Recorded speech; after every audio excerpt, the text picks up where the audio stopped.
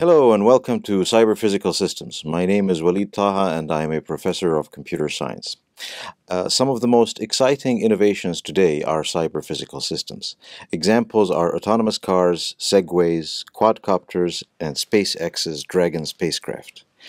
Cyber physical systems, or CPS for short, are not science fiction. In France and Denmark, there are already trains without drivers. Around the world, you see smart buildings with zero carbon footprint. Sometimes they even have their own windmill to provide a clean energy supply. How do you build such systems? This is what this course is about. It's a gentle introduction to topics that you need to master to be one of tomorrow's innovators. To make everything easier and more fun for you, the course itself has several innovations. For example, all course materials are freely available online. Last year, editions of the lecture notes are available from bit.ly slash capital LNCPS 2014.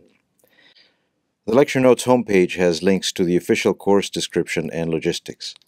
To motivate your learning throughout the course, we consider the open problem of designing a robot that can play ping pong. This is a great example because it illustrates the wide range of expertise that you need to solve it.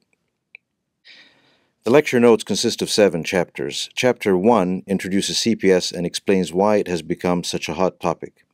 It also introduces Acumen, the open source modeling environment that we use in the course. Chapter 2 talks about modeling physical systems using continuous math.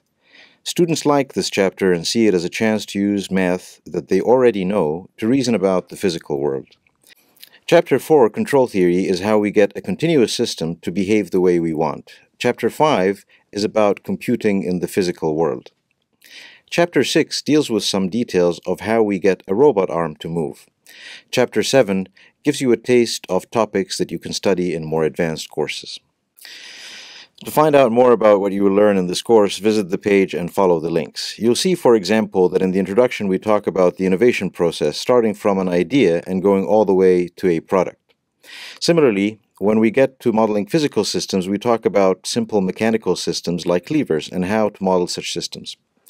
In control theory, we look very closely at a simple device called the operational amplifier. This device provides us with a really nice way to explain the main and the most important concepts of control theory. When we get to computational systems, we think about how to put back the abstractions of computing, like hardware and software, back into the physical world.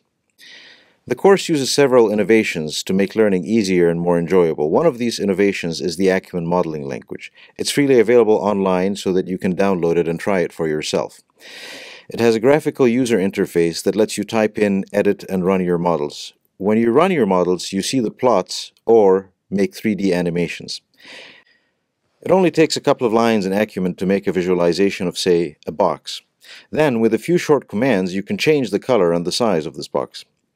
Although drawing static 3D diagrams is already a cool feature that is easy for anyone to use, things get much better when we combine 3D shapes with dynamics. To introduce dynamics, we just add a couple of more lines and introduce two new variables.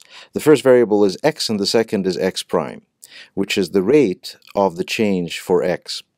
If we set x prime to be 1, then x will be constantly growing. Then we can change the dimensions of one of the boxes from being, for example, 0.5 to 0.5 times x.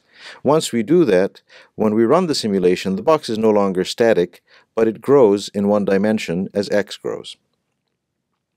With essentially these two features of 3D visualization and dynamics, Acumen lets you model and simulate a lot of very interesting uh, dynamical systems. We use Acumen throughout the course to give you a chance to design a ping-pong playing robot.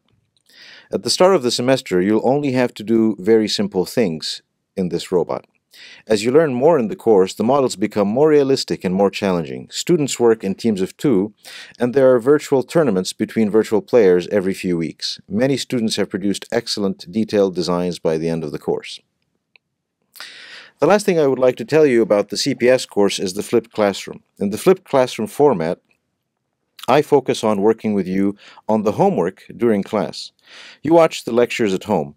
You even take an online quiz at home. During the class, we focus on making sure that you get all the help you can on solving problems. This is a new and proven method that many researchers believe improves learning, and it's a lot of fun. So in conclusion, I hope that this overview will encourage you to check out the online materials in Acumen. Thank you very much for watching this video.